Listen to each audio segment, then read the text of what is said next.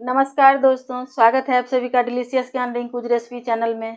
दोस्तों, आज हम बनाएँगे दिवाली स्पेशल राजभोग। तो राजभोग बनाने के लिए हमने दो लीटर टोन दूध ले लिया है, पैकेट वाला दूध है।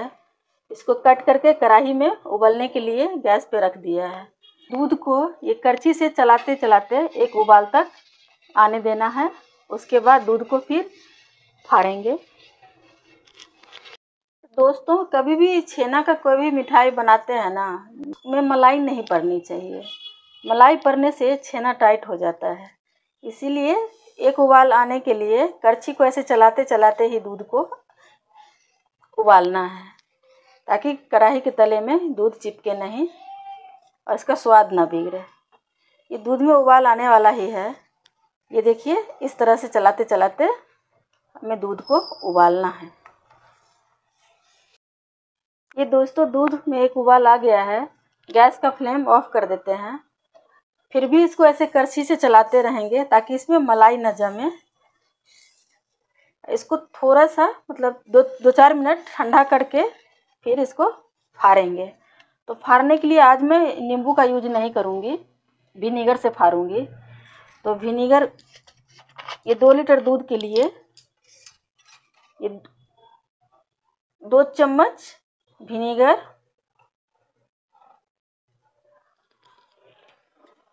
इसमें चार चम्मच पानी मिक्स कर लेंगे। एक,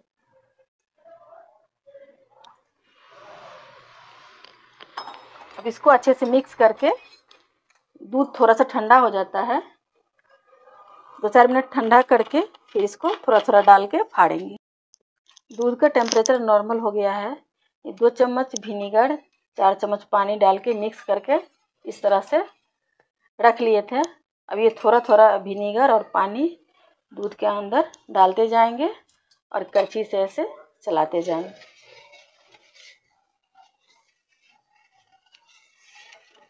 इस तरह से एक ही बार सारा नहीं डाल देना है थोड़ा थोड़ा करके डाल के इसको अच्छे से छेना फाड़ लेना है दूध को।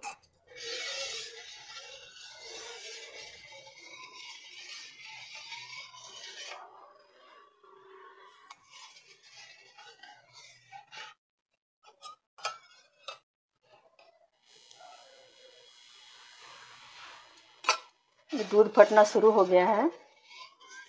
ये देखिए दूध फटना शुरू हो गया है। बाकी का जो बचा विनीगर पानी है थोड़ा थोड़ा डाल के इस तरह से चलाते जाएँगे।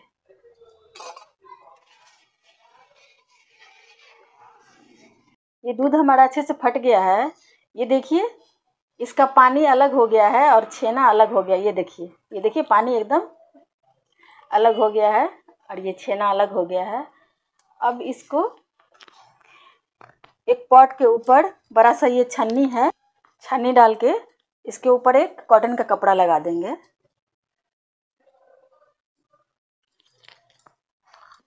इसको छान लेंगे। तो पानी छेना अलग हो गया है। ये पानी को या तो आप चपाती के लिए लगाओगे आटा तो वो लगा सकते हो। तो काफ़ी अच्छा नरम और टेस्टी बन के तैयार होगा चपाती। या फिर इसको ठंडा करके किसी बोतल में भर के रख लीजिए। दो तीन दिन में अगर आपको छेना बनाना है, छेना फाड़ना है तो ये पानी यूज़ कर सकते हैं। या फिर इस कढ़ी कढ़ी बनाने में भी इसका यूज़ कर सकते हो। छेना का खटापन हटाने के लिए विनीगर से फाड़े हैं दूध तो इसमें खटापन होगा। विनीगर का इसको तीन चार बार साफ़ पानी से अच्छे से धो लेंगे। इस तरह से।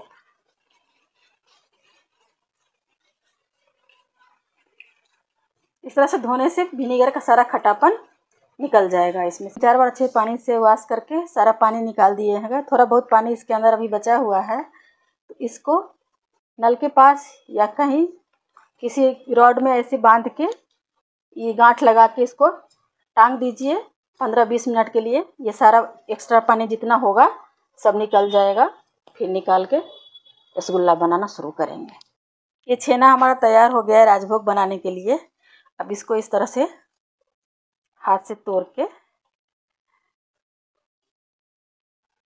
रेड फ़ूड कलर डाल रही हूँ। येलो कलर का भी बना सकते हैं आप रेड कलर का भी बना सकते हैं। तो आज मैं रेड कलर से बनाऊँगी। इसमें थोड़ा सा दो तीन पिंचेस जितना फ़ूड कलर डाल के इसको अच्छे से मैश करूँगी। पाँच सात मिनट तक इसको ये हथेली से अच्छे से मैश करके फिर रसगुल्ला बनाऊँगी। इसको अच्छे से हथेली से पाँच से सात मिनट तक खूब अच्छे से मसलेंगे मसलते मसलते इसको चिकना बना लेंगे। ये छेना को अच्छे से मसल के चिकना बना लिए हैं। अब चलते हैं रसगुल्ला उबालने के लिए शुगर सिरप बनाने। शुगर सिरप बनाने के लिए सबसे पहले एक कढ़ाई में ये एक कटोरी, यानी कि वज़न में ये तीन सौ ग्राम चीनी है, वो डाल देंगे। तीन सौ ग्राम चीनी है तो इसमें डेढ़ लीटर जितना पानी डालेंगे।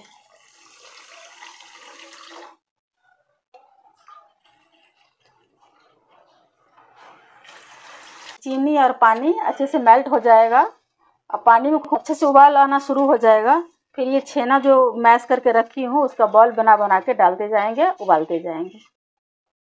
अब इसका एक लंबा डो बना लेंगे। इस तरह से।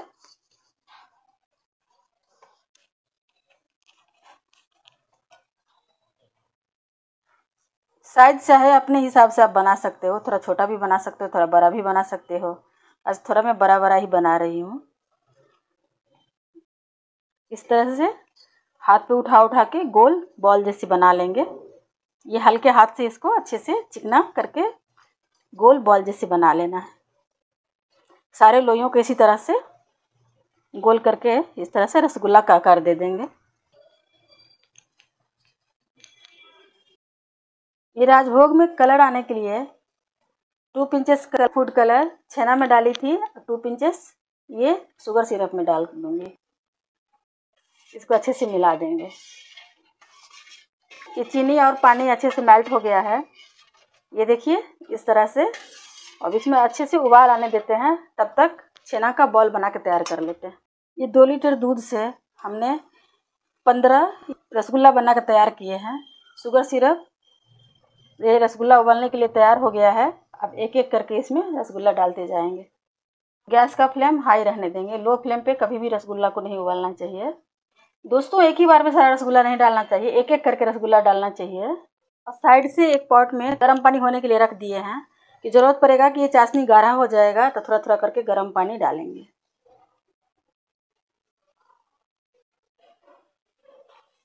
ये रसगुल्ला को दोस्तों पाँच मिनट तक ऐसे खुला में ही उबालेंगे। उसके बाद ढक ढक के दस दस मिनट करके थर्टी मिनट्स उबालेंगे ढक के।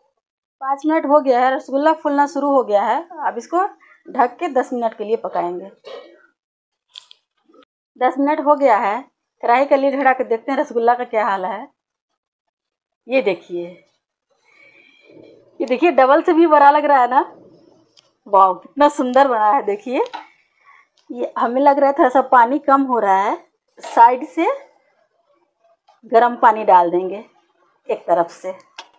इस तरह से। फिर ढक के इसको बीच में ऐसे से चला देंगे, ये सब किनारे वालों को सबको बीच में ले आएँगे ताकि एक तरह से, एक जैसा चारों तरफ़ से अच्छे से पक जाए। फिर ढक के इसको दस मिनट तक फिर पकाएँगे। ये दस मिनट हो गया है। ये कढ़ाई का लीड हटा के देखते हैं, रसगुल्ला का क्या हाल है? वाओ। ये देखिए दोस्तों ये कितना सुंदर रसगुल्ला हमारा फूल के तैयार हुआ है। ये देखिए। ये चाशनी थोड़ा गाढ़ा लग रहा है। वापस से दो करछल गर्म पानी साइड से डाल देंगे। तो ये कितना लगा है टाइम इसमें? पाँच मिनट खुले में पकाई थी। दस मिनट एक बार, दस मिनट एक बार। तो टोटल हो गया twenty five minutes. Ten minutes के लिए इसको फिर कढ़ाई का लिड लगा के फिर पकाऊँगी। तब जाके मेरा ये राजभोग परफेक्ट बन के तैयार होगा। ये दोस्तों टेन मिनट हो गया है। कढ़ाई के लिए ढड़ा कर देखते हैं रसगुल्ला का क्या हाल है। ये देखिए। वाह कितना सुंदर रसगुल्ला हमारा बन के तैयार हुआ है। ये देखिए। इसको उबालने में हमें टोटली थर्टी फाइव मिनट्स लगा है। पाँच मिनट खुले में पकाई हूँ और टेन टेन मिनट्स ढक ढक के ढक देने से क्या होता है? इसमें झाग ऊपर तक आता है। इसी झाग में हमें रसगुल्ला पकाना रहता है ताकि अच्छे से रसगुल्ला पक जाए। अब ये गैस का फ्लेम ऑफ़ कर देंगे। और जो जो सबसे ज़रूरी ट्रिक, जो मैं फ़र्स्ट टाइम रसगुल्ला बना के डाली थी वीडियो, उसमें भी ये ट्रिक बताई थी। शायद आप लोगों को पता होगा कि नहीं होगा। ये दोस्तों, ये एक बाउल में पानी और पानी के अंदर 10 से 15 आइस क्यूब निकाल के रख दिए हैं। और एक एक करके रसगुल्ला कढ़ाई में से निकाल के इसी पानी में डाल देंगे। ये रसगुल्ला अंदर बैठ रहा है, इसका मतलब ये बन के तैयार हो गया है। अगर पानी में तैरता रहता तो कुछ देर और हमें पकाना पड़ता है इसको रसगुल्ले या आइस वाले पानी में डाल दिए हैं। इससे क्या होता है ना दोस्तों जैसा हमारा रसगुल्ला का साइज़ है, वैसा ही ये ठंडा पानी में डालने से बरकरार रहता है। रसगुल्ला हमारा सिकुड़ के छोटा नहीं होता है। फिर आगे का प्रोसीजर बताते हैं। अब इसमें जो शुगर सिरप जो बचा है ना, इसका यूज़ हम अभी अभी इस रसगुल्ले के लिए नहीं करेंगे। इसके लिए अलग अलग से शुगर सिरप बना के तैयार कर रहे हैं तो जिसमें कि दो सौ ग्राम चीनी और एक कटोरी पानी डाल के थोड़ा मीठा शुगर सिरप बना के ये, इस तरह से ये बना के तैयार कर लिए हैं। ये शुगर सिरप बन गया है, अब गैस का फ्लेम ऑफ़ कर देंगे। इसमें तीन से चार इलायची, छोटी इलायची ग्रीन वाली इलायची, इसको इस तरह से चाशनी के अंदर डाल देंगे। जब ये हमारा शुगर सिरप ठंडा होगा, फिर आइस वाले पानी में से रसगुल्ला एक एक करके निकाल के फिर ये शुगर सिरप में डाल देंगे। ये दोस्तों, फाइनली शुगर सिरप बन के तैयार हो गया है, जिसमें अभी हम ये राजभोग को डालेंगे। जिसमें राजभोग उबाली थी, वो शुगर सिरप दोस्तों, थोड़ा सा चिकनाई आ गया था उसमें, इसीलिए उसका यूज़ नहीं की हूँ। ये दूसरा शुगर सिरप बना के तैयार की हूँ। इस ट्रिक के साथ बनाइएगा राजभोग या रसगुल्ला, छेना का कोई भी मिठाई। तो हंड्रेड परसेंट गारंटी के साथ बता रही हूँ कि कभी फेल नहीं होगा। ये न रसगुल्ला फटेगा, न टाइट होगा। एकदम स्पॉन्जी जालीदार और सॉफ्ट बन के तैयार होगा। ये देखिए। इधर अब एक एक करके रसगुल्ला या आइस वाले पानी में से निकाल के इस तरह से पानी दबा देंगे। ये देखिए कितना आराम से इसमें से पानी निकल जा रहा है और साइज़ फिर ऐसे का ऐसा ही हो जाएगा। शुगर सिरप में एक एक करके डाल देंगे। इस तरह से।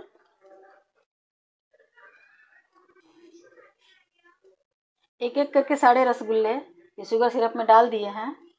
अब इसको तीन से चार घंटा ये शुगर सिरप में एब्जॉर्व होने के लिए छोड़ देंगे। फिर जाके सर्व करेंगे। ये दोस्तों राजभोग बन के तैयार हो गया है। जिस ट्रिक के साथ मैं बनाई हूँ, आप लोग भी ट्राई कीजिए। बिल्कुल निराशा नहीं होगा दोस्तों। एकदम स्पॉन्जी जालीदार और सॉफ्ट राजभोग बन के तैयार होगा। ये देखिए, मैं दिखाती हूँ एक को कट करके।